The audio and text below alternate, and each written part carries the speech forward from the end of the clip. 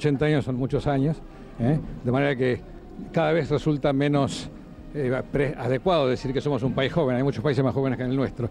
Señor Eh, ministro, eh, el- hemos escuchado hoy a la mañana el mensaje que usted le envió a las Fuerzas Armadas, donde reconoce el esfuerzo que se ha hecho y que quizás dista bastante nuestro sistema de defensa nacional de que se querría tener. ¿Estamos realmente en una crisis de, de, digamos, de presupuesto, de concepción o de crisis de cambio? Dos cosas, las dos cosas. Tenemos algunas dificultades funcionales que son públicas y notorias. No necesito, no revelo ningún secreto si así lo digo. Pero por otra parte, lo más importante es la crisis de cambio.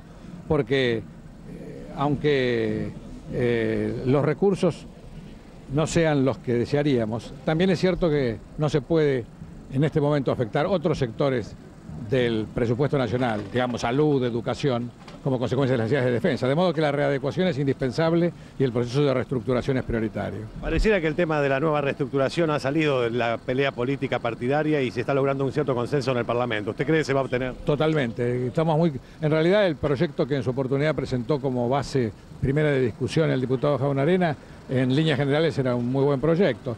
Eh, hay un alto grado de, de consenso en el tema. Hay algunos eh, puntos que merecen analizarse con detenimiento, eh, como es el sistema de pensiones y retiros, que es un tema muy difícil. Pero en su conjunto creo que no- creemos que no va a haber dificultades. En este caso de la independencia argentina, eh, su opinión, ¿cómo nos encuentra?